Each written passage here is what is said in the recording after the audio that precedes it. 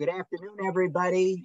Uh, welcome to this wonderful webinar we're about to have. Uh, as those of you who already signed on, you can see that we're populating uh, the webinar. I want to wait a minute or two so that we can uh, make sure that everybody who joins, uh, it, let's say, let's put it this way, everyone who's in a timely fashion has joined us gets to uh, launch the webinar and then we'll begin. So uh, be patient if you would for a minute or two and uh, we'll wait for uh, the uh, webinar to populate.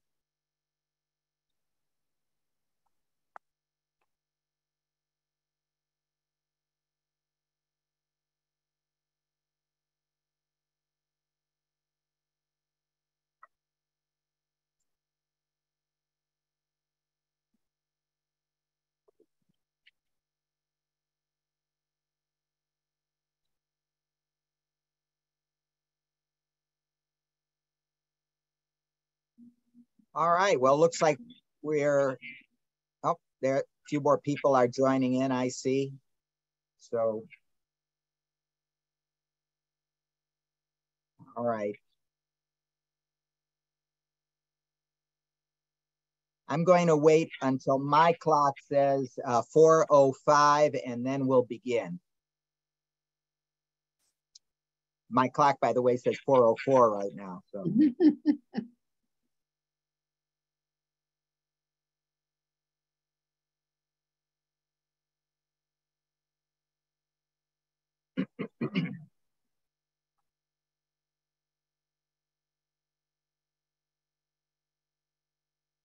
All right, we'll begin.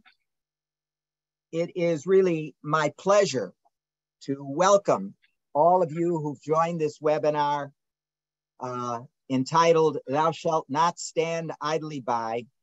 And this webinar features our special guests, uh, the author of a brand new book with that same title, Dr. Georgette Bennett, and our other special guest, uh, Ms. Judy Collins, the Grammy winning recording artist and the American singer and songwriter who will be in conversation with Dr. Bennett.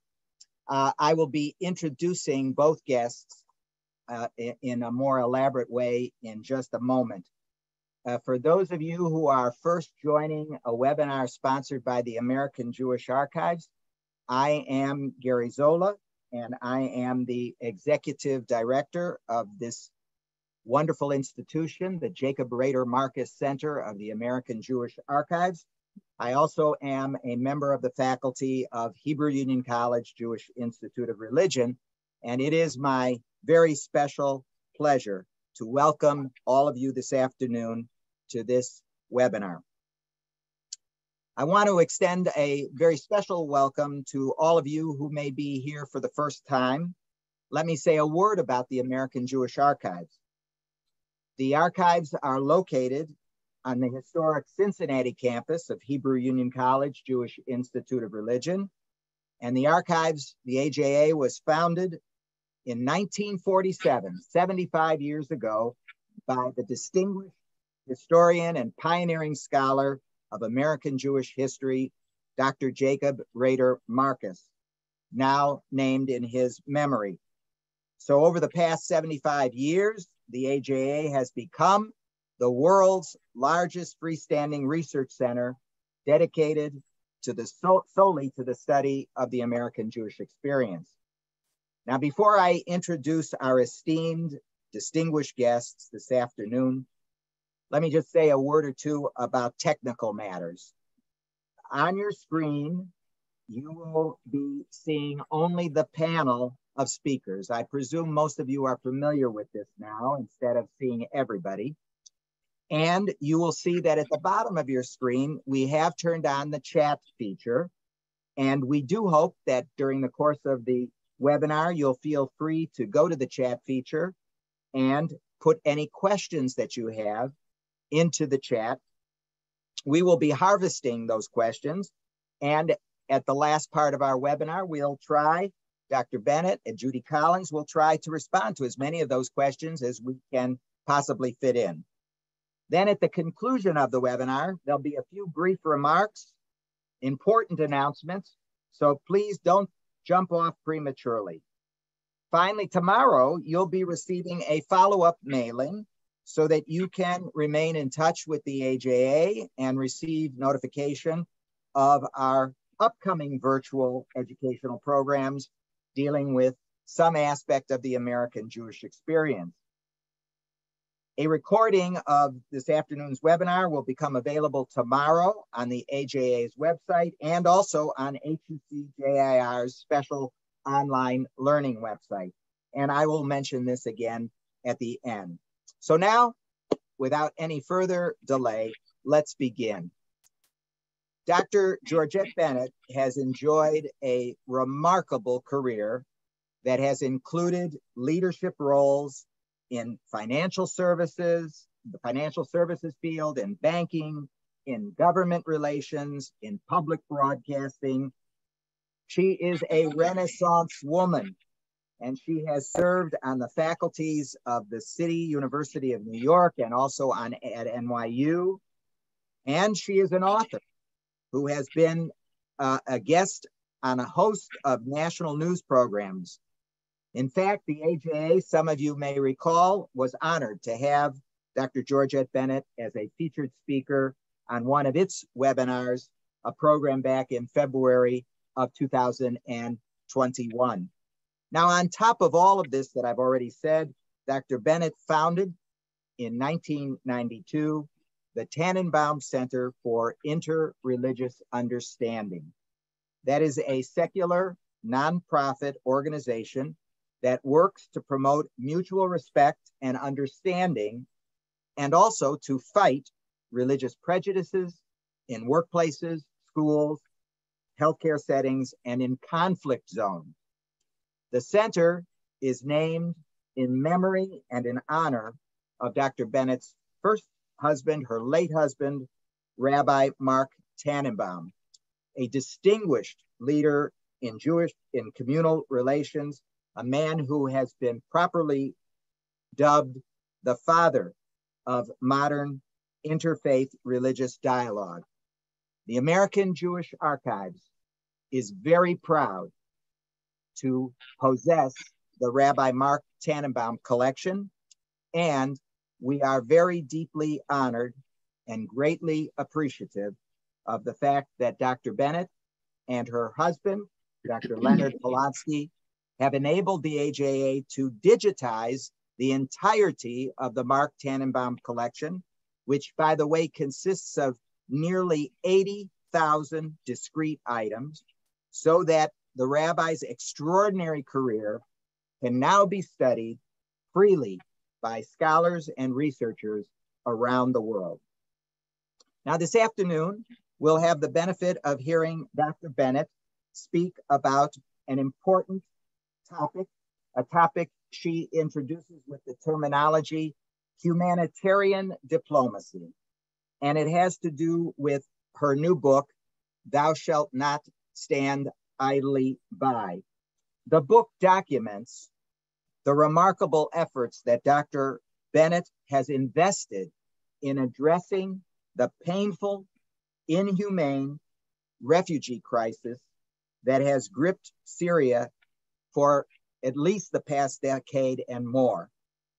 It's though the book is not merely the story about Syrian refugees, it is the story about America, about Israel, about Jordan, and about the power and efficacy of interfaith collaboration.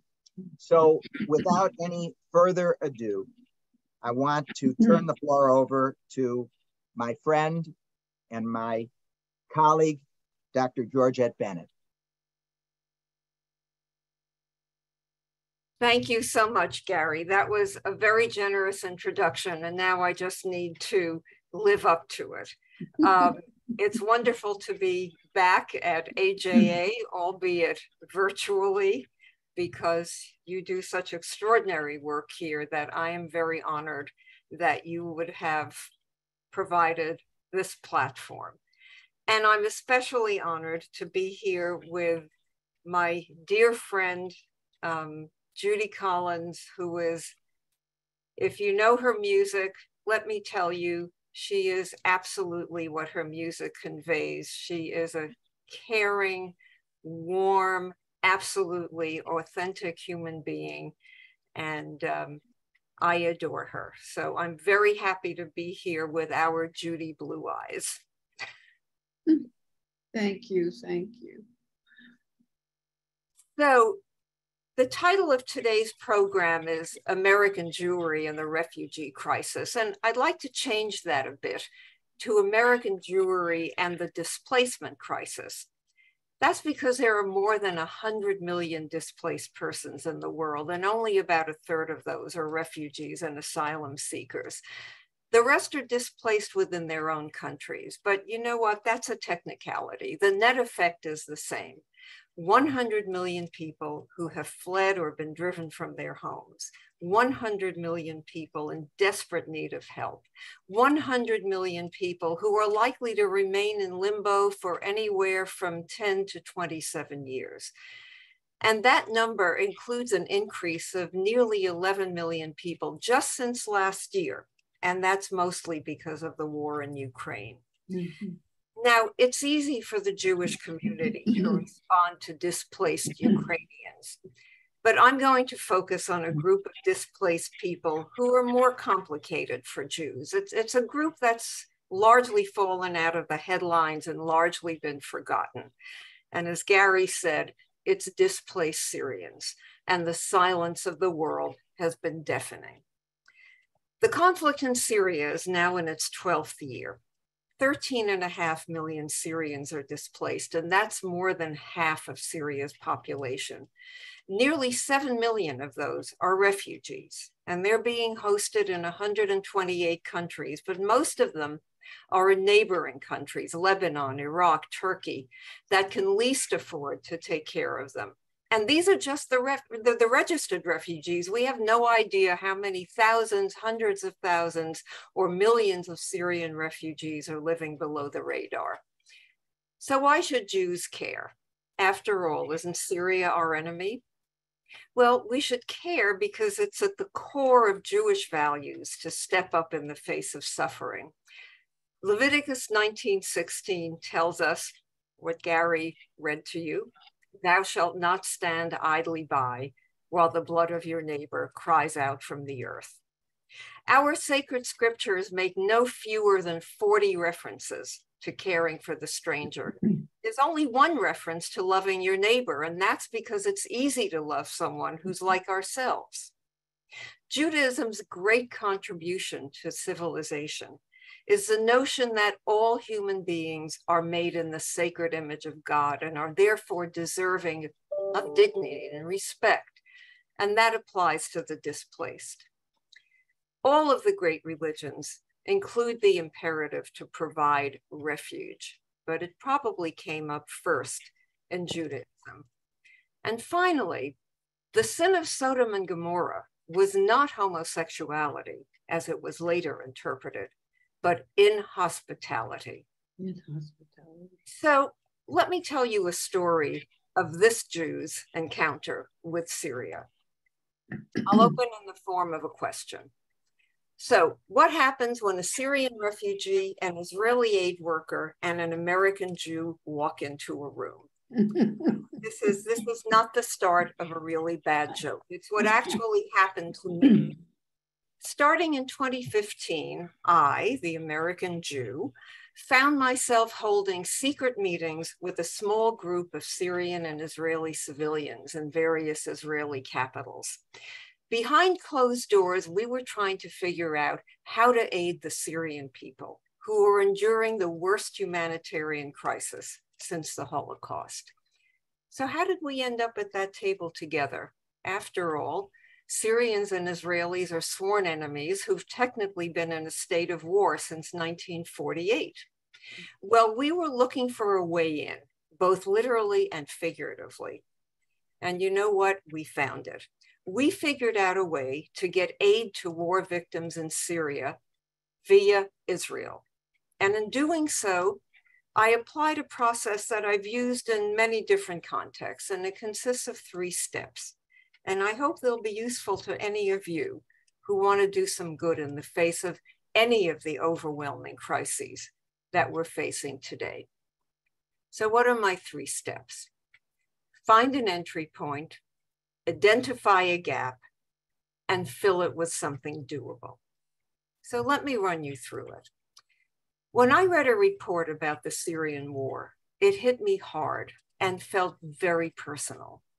I was stunned by the scale of the misery, which echoed my own family's suffering in the Holocaust. My parents survived concentration camps in Poland and Hungary. And after the war, we had to flee and we came to the US as stateless refugees. When I saw the destruction of Aleppo, I was reminded of Budapest, the bombed out city of my birth. And when I read about starvation by siege in Syria, I couldn't help but remember the pregnancy that my mother lost, lugging home a sack of rotten potatoes when there was nothing else to eat. And when I saw the emaciated and disfigured corpses of Syrians tortured in Damascus prisons, I also saw the walking skeletons of Auschwitz, Mauthausen, and Bergen-Belsen, where so many of my own family members literally went up in smoke. And when I saw Syrian refugees flooding across borders, I was reminded of my own displacement as a refugee child. So, what is, as one person, what do you do next in order to not stand idly by? When you're confronted with something you know you need to change, you have to find an entry point. And for me, that was mobilizing a response from the Jewish community. And soon after, scaling that up to the leading interreligious response in the US, focused exclusively on Syria. It's called the Multi Faith Alliance for Syrian Refugees, and it now has more than 100 partner organizations. But let me go back to the Jews. To this day, Jewish funders are the biggest supporters of the work I'm about to describe. But that hasn't been the case everywhere. HIAS, for example, the Jewish Refugee Resettlement Agency, found resistance. Jews were telling them, why should we import more anti Semites at a time when Jews are under rising threat? And at a time of escalating anti Semitism, that's a completely understandable fear. After all, Syrians are indoctrinated from a young age to view Israelis as killers and Jews as the devil for supporting Israel. But I saw an opportunity to build bridges between enemies while also saving lives. And as Gary mentioned, it's called humanitarian diplomacy. Mm-hmm. And that's where I found the gap that I could fill. It was very hard to get aid into Southwest Syria because it was surrounded by regime forces. And the regime doesn't allow humanitarian aid to get into any area it doesn't control. Israel shares a border with that part of Syria. And guess what? It's easy to get aid into that part of Syria from the Israeli side of the Golan Heights. And that gave me a doable thing that would allow us to save Syrian lives. So we just needed the how. And that's why my colleagues and I ended up in those clandestine meetings all over Europe we were making the case that Israel should be used as a staging area for the outbound delivery of international humanitarian aid into Syria. We lobbied the European Parliament, UK Parliament, Canadian Parliament. We banged on doors in Congress. We met with every level of government in Israel. And we got nowhere. Hmm. But then it happened. In September 2016, the Israeli government launched Operation Good Neighbor. It was now official government policy to open the border and facilitate aid from other countries into Southwest Syria. Israel waived all custom fees and commissions on aid passing through the country, and they issued visas for Syrians to coordinate the aid. Now imagine, imagine Syrians coming mm. into Israel So, starting late in 2016, huge cargo containers, many bearing goods from Syrian organizations, were unloaded in Israeli ports by Israeli soldiers and sent over the Golan Heights. And from there, our partners on the ground in Syria picked up and distributed the aid to an area with a population of 1.3 million people. We delivered $100 million worth of aid, $120 million worth of aid to the Southwest, supported three medical facilities and a bakery that produced 15,000 pitas a day. Mm. Israel provided water, fuel, electricity, and we shipped medical equipment, mm. ambulances, supplies, food, pills, sanitary packages, whatever else was needed. By working through local councils, we helped stabilize an entire area. And for two years, this was the only part of Syria that was working. Then, because of an incursion by the regime and its allies, the area was taken over and destroyed. But that didn't stop us. We expanded our deliveries to other hard to reach parts of Syria. In total, we've delivered more than $260 million in aid most of it inside Syria. It wasn't easy, it wasn't hiccup free, but through unlikely partnerships, we've helped nearly 3 million Syrian war victims and still counting. And we're still building those bridges between sworn enemies in order to plant the seeds for future stability in the region. The Israelis were very reluctant to go public with the Syrian Israeli partnerships that we nurtured. Mm-hmm. That's because they knew that this would put a target on the backs of their Syrian colleagues. But Ghassan Aboud, one of my closest Syrian partners, saw it differently. Ghassan is a potential moderate future president of Syria and a multi billionaire entrepreneur who owns a vast media empire so he took things into his own hands. And in a historic first, his Orient TV ran a 45 minute piece featuring a Syrian refugee in the US, a Syrian doctor who was a refugee in Dubai, and a Syrian reporter in Southwest Syria to reveal their humanitarian partnership with Israel. Al Jazeera picked up that story and attacked the three Syrians as traitors but when the network posted the story on its Facebook page, the overwhelming majority of responses bashed Al Jazeera for bashing the Syrians for working with Israel. I'll give you a, a, sampling of the posts from Syrian viewers to show you their contempt for the hypocrisy of the critics. One post said, We're happy with Israeli aid. At least Israel makes real raids on the regime from time to time another post. So now helping Syrians and saving their lives is a crime, mm-hmm. especially after our Arab countries closed their borders to our wounded. A third, where's the problem?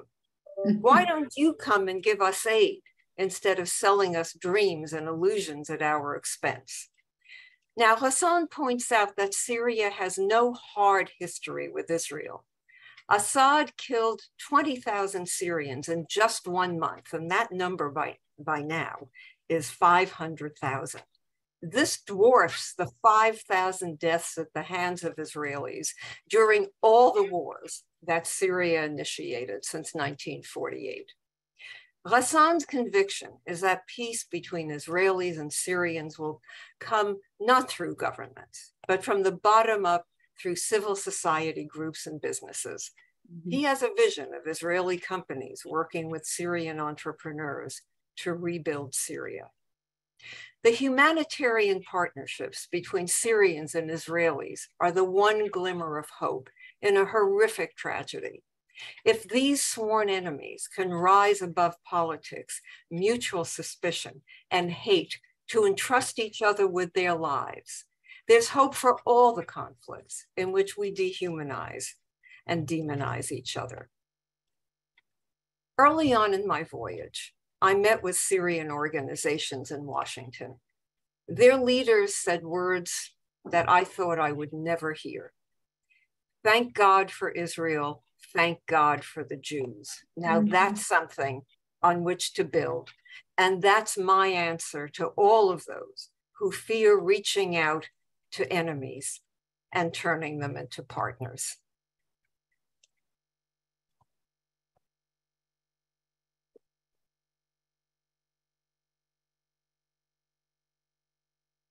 Thank you so much, Georgette, for such a, uh, really a masterful uh, summary of the story you tell in the book. I uh, told Georgette, to those of you who are listening, I told Georgette in advance of the webinar that I, I read the book over the last three days from uh, cover to cover. It's a very readable book, but I can tell you, friends, that what Georgette left out, Georgette left out, uh, although she mentioned it very briefly in passing, uh, were the obstacles uh, mm. that uh, peppered this path all along the way, and uh, that's sort of the the uh, as as Georgette just said, the finding the pathway is it's sort of part of the intrigue of the book. Uh, and um, but but I, I was astonished really and uh, and and amazed and and and very impressed that you you really were able to tell that story in such a compelling way uh, to summarize what you've written.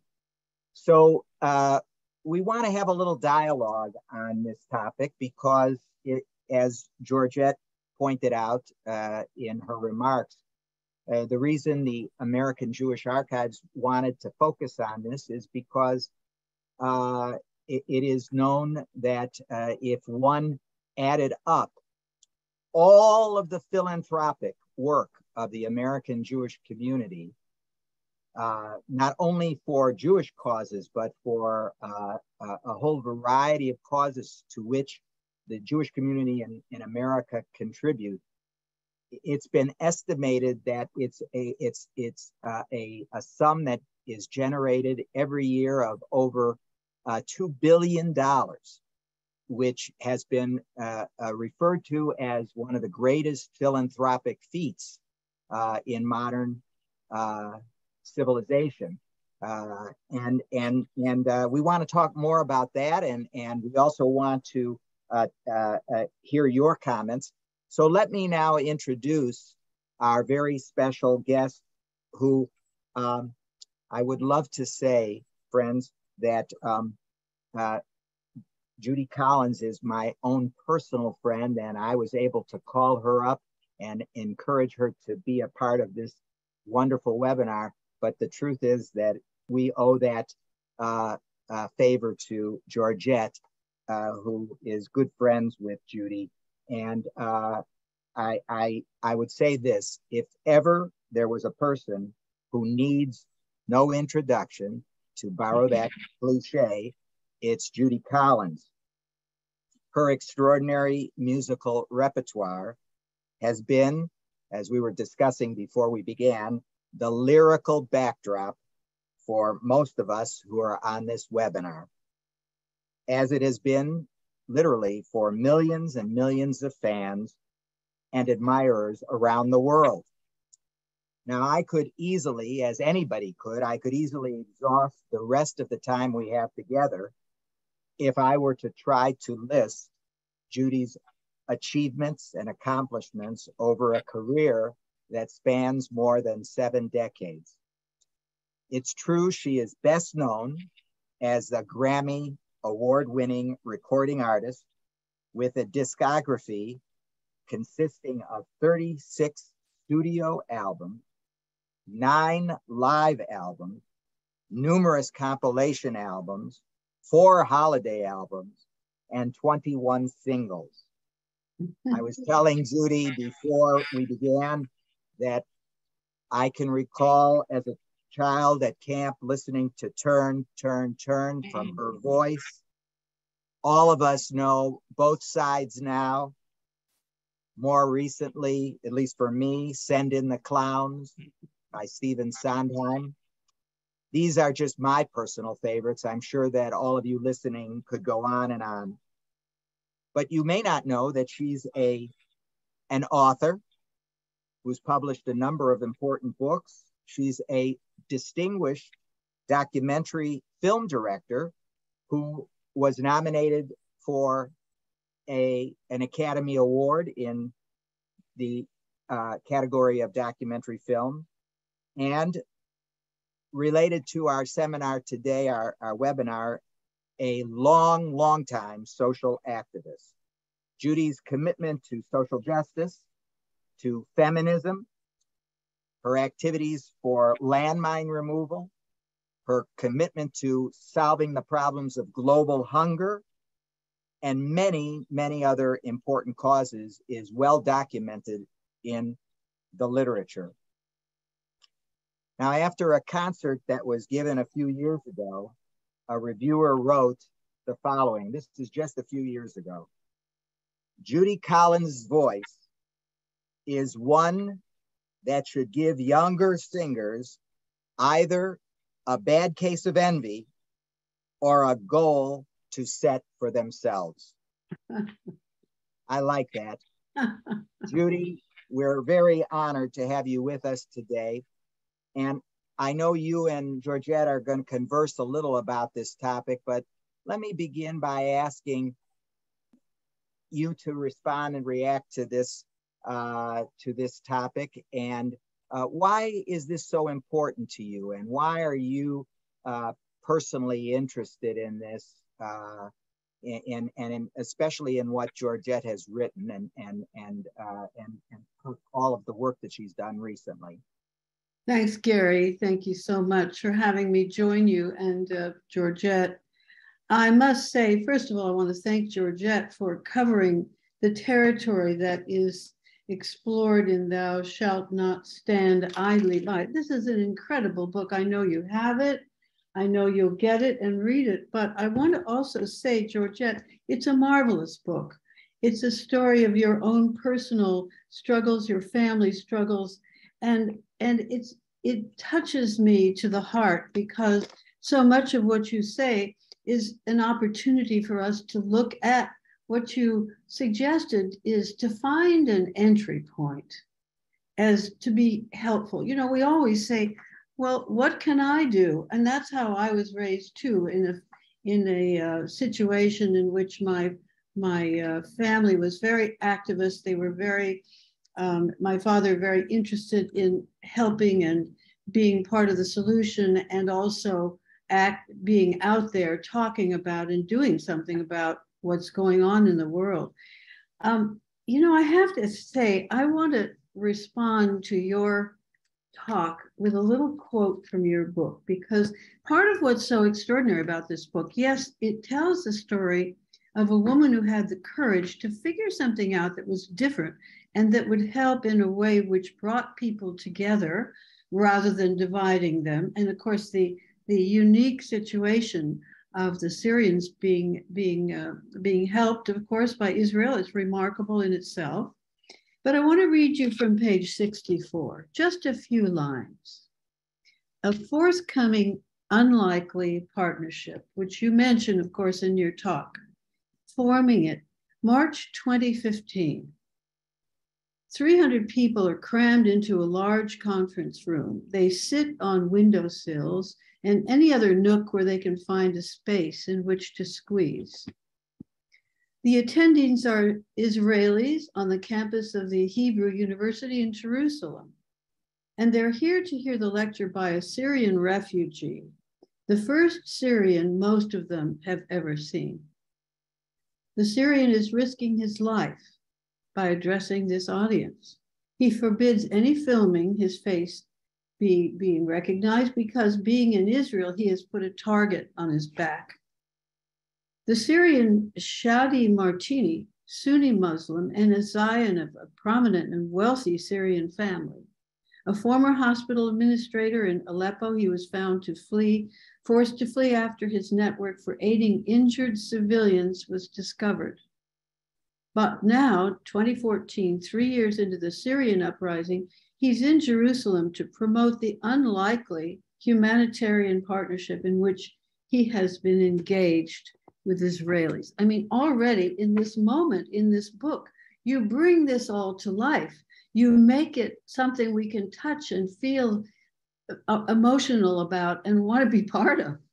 And how did you how in the world, I know you've had a fascinating life. You've had a life filled with danger. You've had a life filled with success. You've even been a criminologist, which makes me want makes you, in addition to all your gifts, one of my most interesting friends of all. And so I'd like to know from where you carried this to where you intend to go today. Well, Judy, um, thank you. You managed to very cleverly turn this back to me. um, Judy, you met Shadi. Uh, Judy, um, I think just three weeks ago or so, actually was very kind to um, help us do a fundraiser for the benefit of the Multi Faith Alliance and and the Syrian um, that she just read to you about Shadi is now the executive director of the Multi Faith Alliance. Yes, I've met him. He's a doll. so, where do I intend to go with this? Well, we are actually expanding our operations. We now have an office in Raqqa. We um, have a medical facility. Raqqa, by the way, is the, is the former ISIS stronghold. So I think there's great symbolic value in this. And uh, we also run a primary medical facility, which just in the past year has seen about 40,000 patients. We plan to expand the number of medical facilities we are hoping to move from emergency help to transitional help. And what that means is, here's an example. We, we set up a number of tent cities in northern Syria with our partner Orient for Human Relief. And we set these up at a time when so many Syrians were fleeing the south. And they were sleeping sleeping rough. They're just literally sleeping on the ground. They had no shelter at all. So we put up tent cities. We would mm. like to put up prefab housing for them that mm. actually has bathrooms and that has kitchen facilities.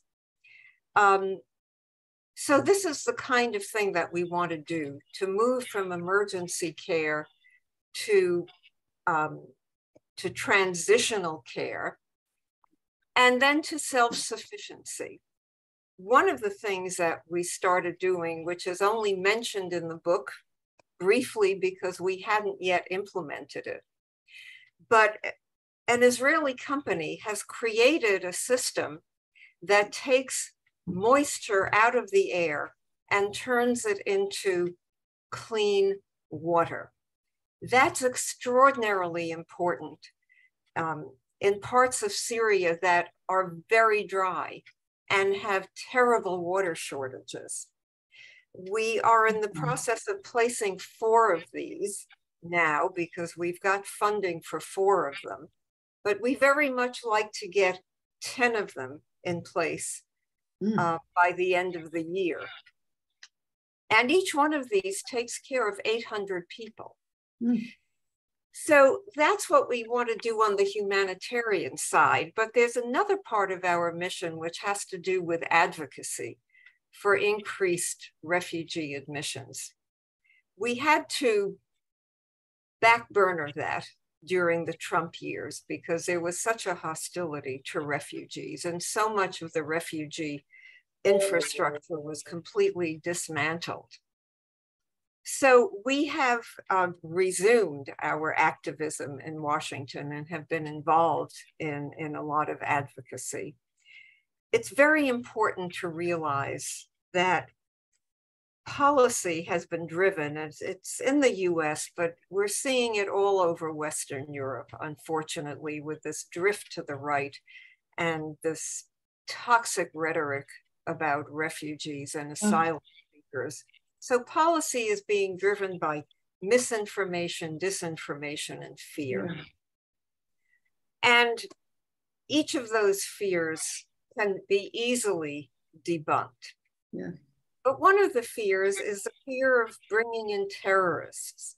And what we don't realize is by leaving these people in limbo for so long, you're making them vulnerable to radicalization. So if we don't rescue them, or if we don't make life better with them in place where they are, we are in fact creating the very conditions that we fear the most. Absolutely. I I understand that. I'm thinking about, of course, our the terrible situation that happened when we decided that certain countries couldn't come in here. And uh, I think it was in there were seven countries named. And uh, I, at that time, around 2016, I was watching television one day and I, I heard a woman talking about her situation. And I quickly wrote down what became a song called Dreamers and of course, it's about DACA. It's about the problem. It's about what happens around the world. And it goes like this mm, My daughter is a dreamer. My name it is Maria. She's afraid. Uh, she fears that I will be have to be turned away. In other words, the mother is thinking about her daughter, and it it touched me so much the, the about the whole situation. And actually, uh, one of my friends who was in Congress at that point said that she played the song for all the incoming uh, people in the Congress in uh, 2018, in 2016. And you know, this is this is a, a problem that that affects the world. How does the Syrian refugee and the Syrian help uh, uh help structure um, compared to what's going on in Ukraine? Is there any overlap? Is there any kind of help that's going? Is the refugee situation out of Ukraine similar to what's happening in, in the Syrian refugee um, problem? The similarity is in the cause of the Ukrainian refugee crisis. Up until the war in Ukraine started, Syrians were the largest percentage of refugees in the world. It was the largest displacement crisis in the world. Ukraine has now exceeded that, but there are some very important differences. Ukrainians are being welcomed with open arms and easy to understand. They're European, they're white, they're Christian. The Syrians come from a part of the world that uh, we don't welcome with mm-hmm. open arms. Mm-hmm. And, and 10% of them are Christian, but 80% of them are Sunni Muslims. Oh my. So Islamophobia is a component of this. But what we need to understand is that Syria was the dress rehearsal for what Russia is doing in uh, Ukraine. Uh, uh, because everything that's going on in Ukraine is what Russia has done and continues to do in Syria. The same kind of scorched earth, earth policy, the same kind of disregard of civilian lives. And if Russia had been stopped in Syria, I, uh, I dare say that Ukraine would not be happening. You know, let me jump in. Let me jump in just for a second, if I, if pardon me. I you taught me something in the book, uh, Georgette. I thought you and Judy might want to comment on it related to this very question, because I I would think that everybody on the webinar today immediately would think of the same question that Judy just posed, which is, uh, you know, uh, look, we've got uh, this is all happening again in the Ukraine. Now you made another point that I think is important. I'd love to hear your thoughts. You pointed out that um, uh, uh another, you didn't mention Ukraine, but this is exactly what you were driving at.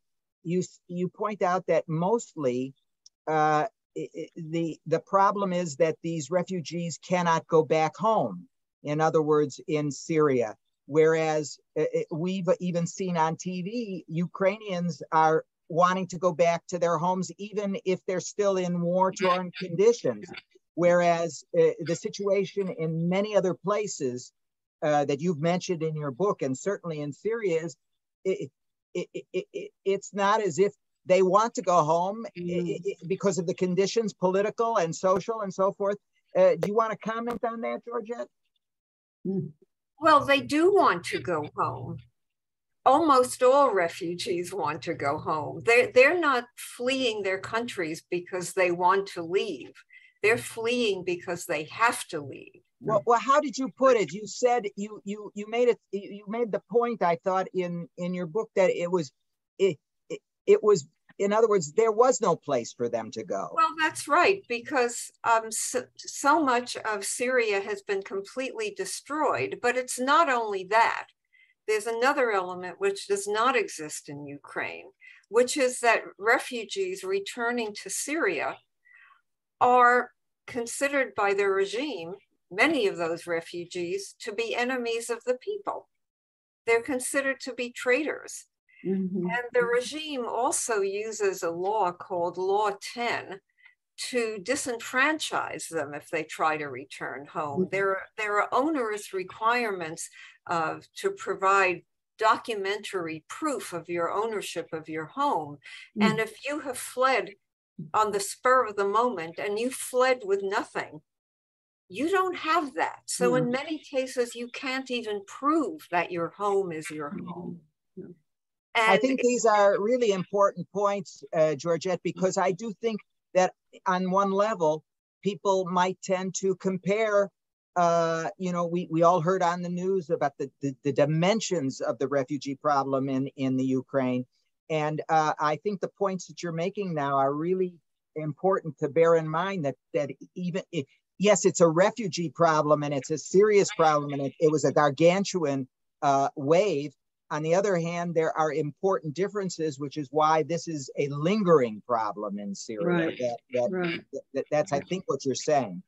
Right. Yes, uh, but let's not forget that there are as many internally displaced Syrians as there are refugees. Yeah.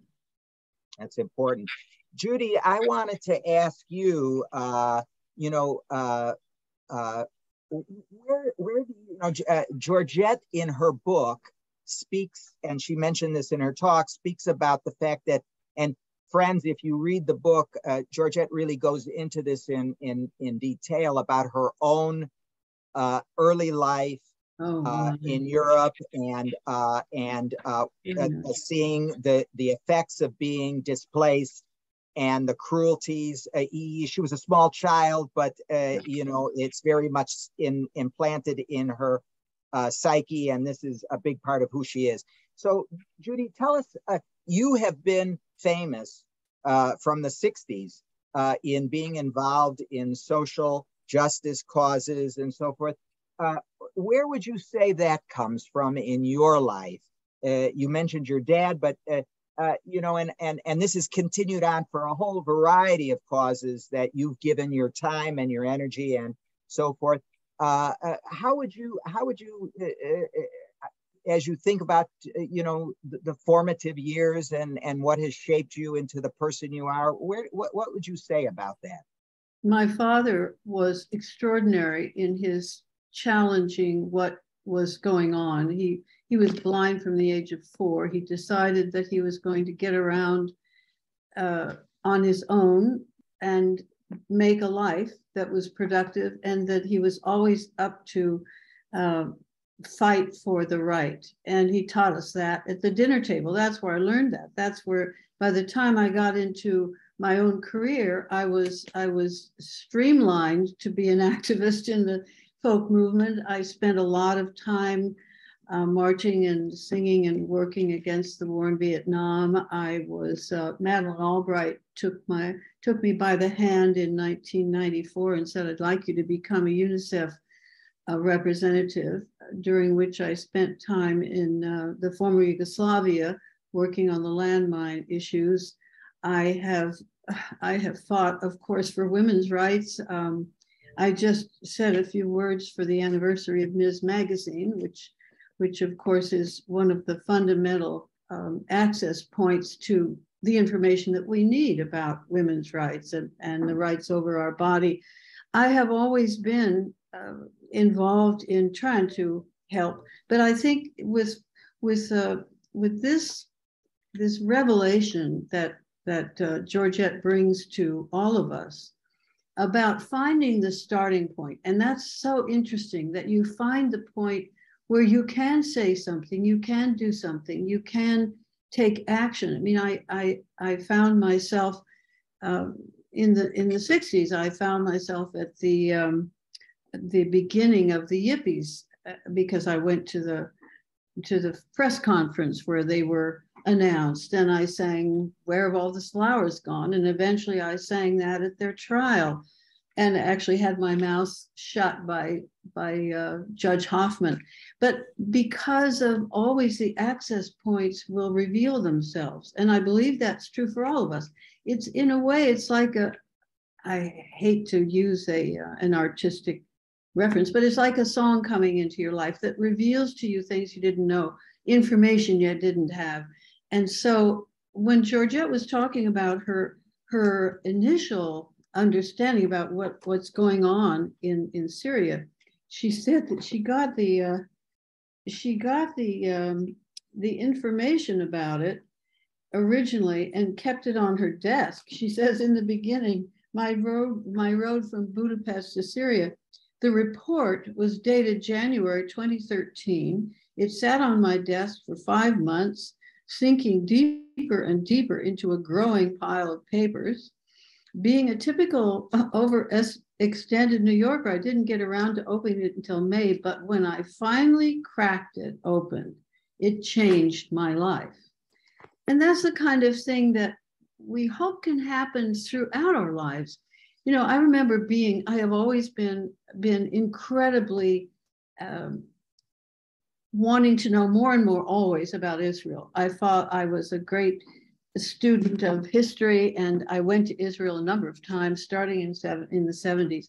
Teddy Kollek invited me to come and sing at King David's pool in, uh, in the 70s. And so I've had many experiences with this conflict of uh, misunderstanding one of the other. And I more and more believe that the kinds of things that are being done in in uh, Georgette's foundation are, are in a way they're not just about Syria. They're about our own interior understanding of the other. As she said, you know, in, in the Jewish history, this is the most important point. It's the other. We embrace the other and to learn to do that. And we have a terrific problem here of the other, of judging the other, of the color, of the habits, of the misunderstanding about mental illness. We all have to work on getting the, the feet into the right direction about changing our attitudes. And it's hard to change your attitudes, but it's essential if you're going to grow? You know, uh, I want to uh, I want to uh, piggyback on what you just said, uh, Judy, because um, here I want to unite um, Georgette's initial uh, work uh, in the creation of the Rabbi Marc Tanenbaum Center. And in your book, Georgette, you list some of the guiding, I'll, use the word, it's probably not the right word, but principles that uh, you learn from watching uh, Rabbi Tanenbaum. And one of them, which just jumped off the page at me when I read it today, was uh, how to try to listen to someone you do not agree with without viewing that person as your mortal enemy. Yes, right. And that that was for Rabbi Tanenbaum uh, key to his work in interfaith relations. And that uh, this was something that you used in, uh, you know, or at least has been a part of how you've focused on uh, the work you're currently doing with the Multi Faith Alliance. By the way, Georgette, someone has asked a question in the chat about uh, if you could expand a little on the different faiths that are part of the multi faith alliance besides Judaism and Christianity. But my point is for the both of you, because uh, Judy, you were just talking about this.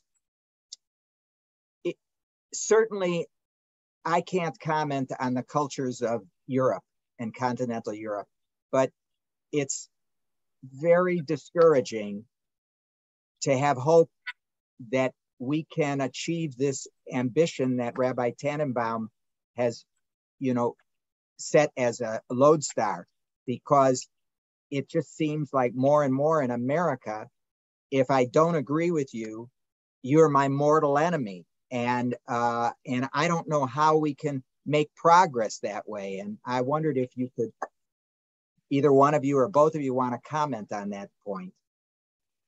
Take an enemy to dinner? I don't know.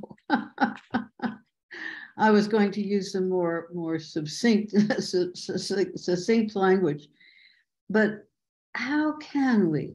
I think we do it in our day to day actions, not the big actions that look like they're the headlines, but the smaller ones.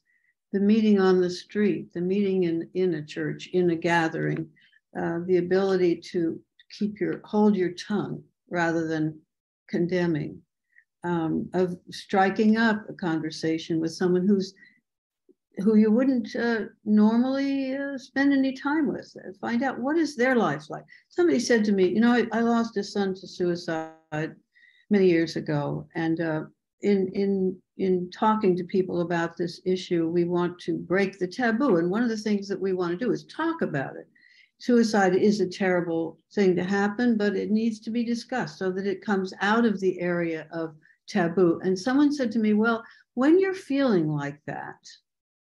why don't you try calling somebody and asking them what they're going through and how they're feeling rather than having to expound expand your own terror and horror of what's happened to you you then find out what their life is like i think it it's speaking out in wonderful uh, articulate and marvelous ways from this book thou shalt not stand idly by and i think it is part of the process of how we get to understand some other person. What are they thinking? What are they feeling? How, what happened to them today?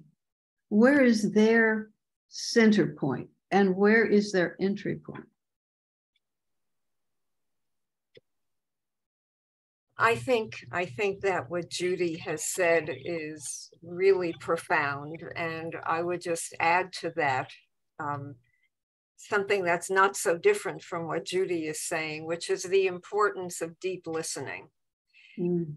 And um, that uh, that's certainly something that was one of the great lessons um, from Marc, because mm-hmm. he did a lot of deep listening. He under he understood that behind um, behind the anger, behind extremism, is a lot of fear yeah.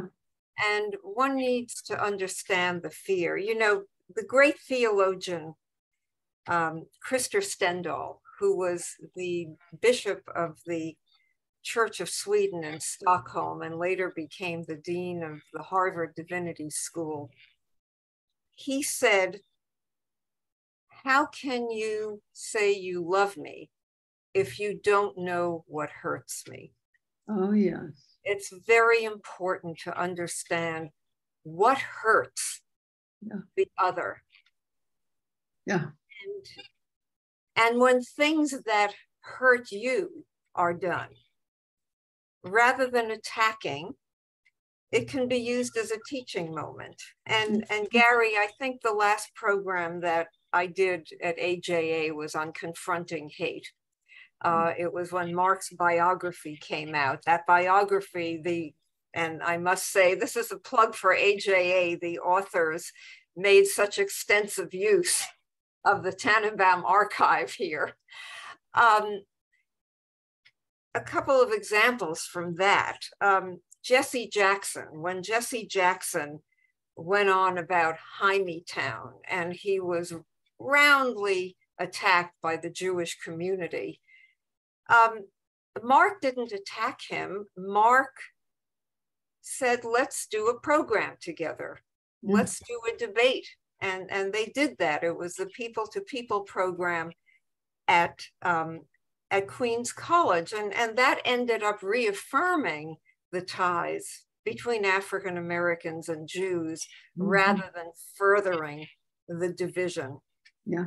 And I think with Ilhan Omar and the comments that she made, um, I don't think that Marc would have attacked her. I think he would have reached out and tried to make it a teaching moment mm-hmm. that can bring communities together instead of separating them further. Mm-hmm. Mm-hmm. I really think that that's such an important point. Uh, I do want to give a shout out to my colleague, uh, Rabbi Philip Bentley, who made a comment and I want to read because he uh, related to what you said, Judy. He said uh, in his comment here, he said, what Judy Collins is describing is a method called compassionate listening. Oh. And those interested in this alternative could visit their homepage at compassionatelistening.org and read the literature and watch the mm. videos. It is to take a side in a conflict is to become a party to the conflict. And if you mm. want to make peace, it is necessary to listen to all sides. Right. right. So I wanted to read that. Uh, let me ask one more question because we're one of the things, you know, uh, Dr. Marcus, the namesake and founder of the American Jewish Archives, always said, and he, he used to say to his students, remember that uh, the mind can absorb only as much as the tushy can endure.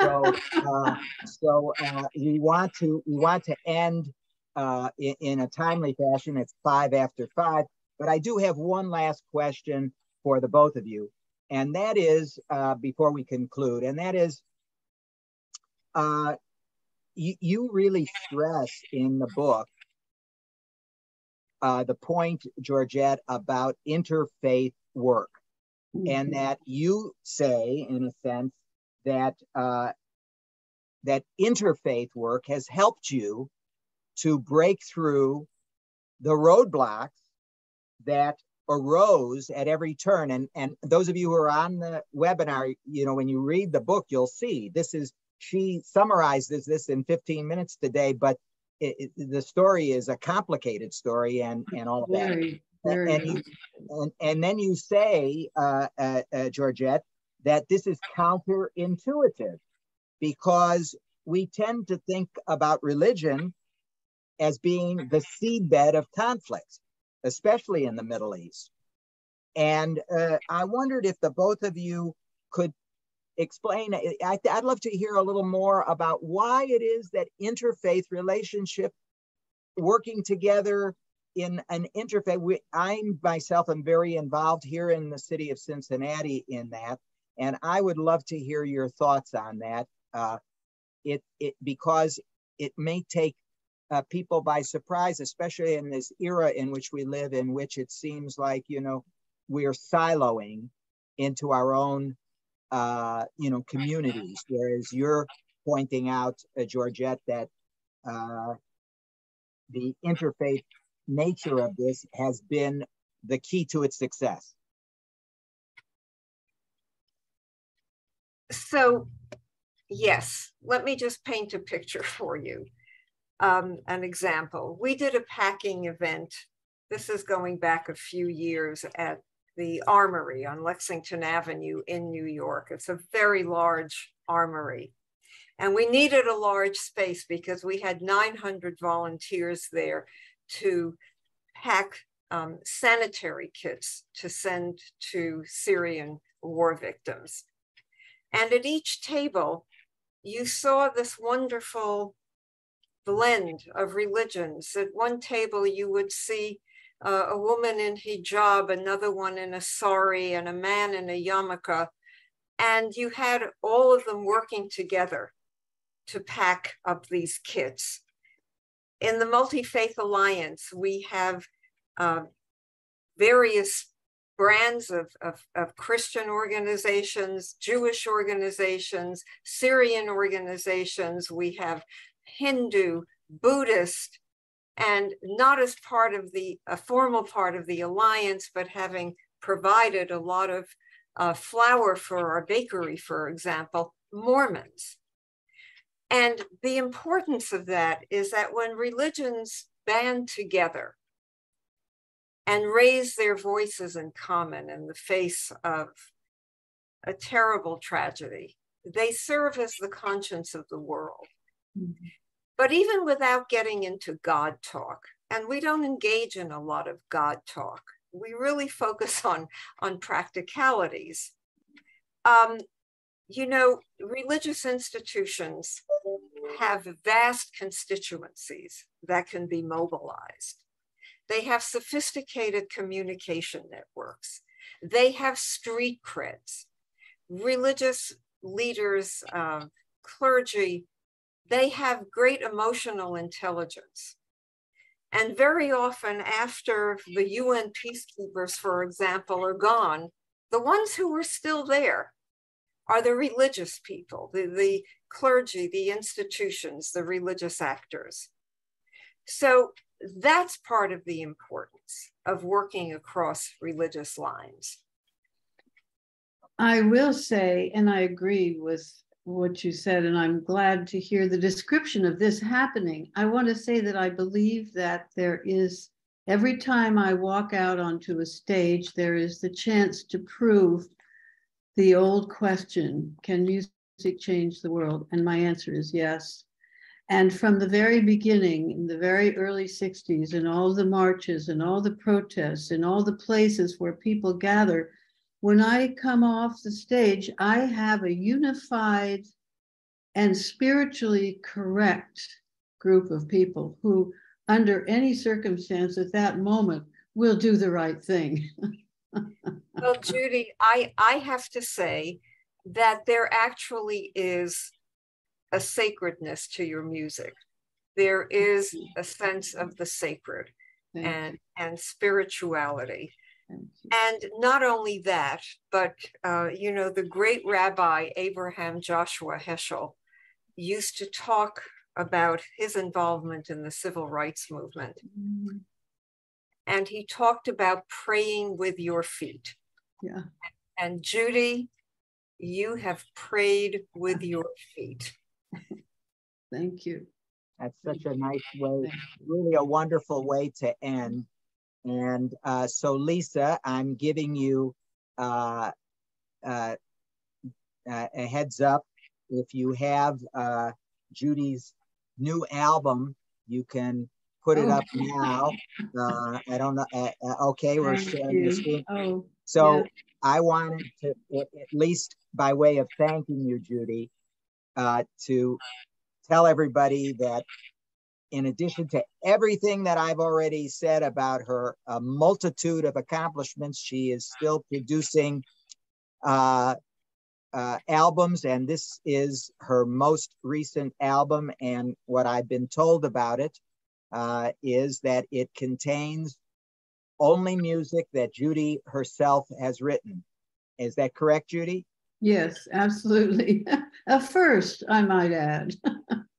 because I know that you know you know you've made other writers famous and uh, with your beautiful renditions of their music and uh, and so everybody who wants to take a little bit of Judy home, you can go and get.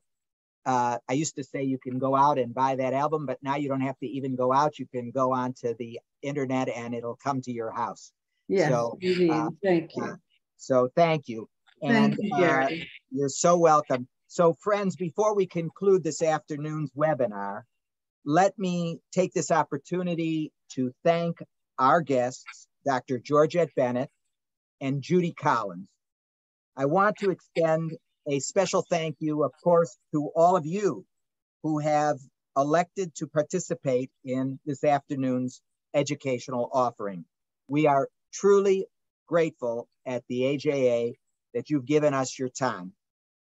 The AJA will continue to sponsor special topical webinars periodically on interesting facets of the American Jewish experience. In fact, as you see in front of you, next month on Tuesday, September the 20th, at the same time at four o'clock in the afternoon, right before the high holy days, the AJA will feature a special discussion on a new book titled Abraham Lincoln and the Fight for Peace, written by CNN's John Avlon. Now, some of you in the audience know that John and I share an interest in Abraham Lincoln. I've published a book on Lincoln and the Jews. So we're going to be talking and dialoguing about Lincoln's vision of lasting peace and the Jewish Americans who participated in that larger saga. So mark your calendars. I know you'll want to join us.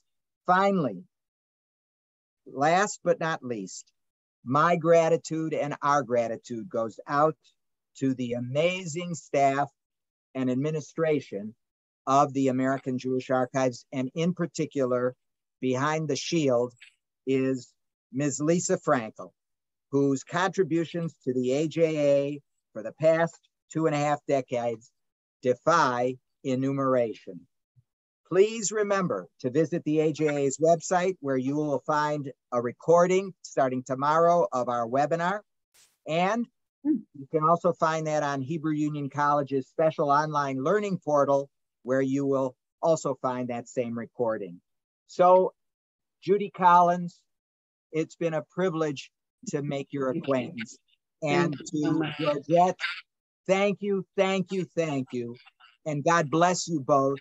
To one and all, let me say shalom, goodbye, and we look forward to seeing you all in the not too distant future. Thank you so much for joining us. Thank you, Gary. Thank you, Georgette. Bless you both. Thank you. Thank you, Judy, Gary, and Lisa. Thank, Thank you. Bye bye.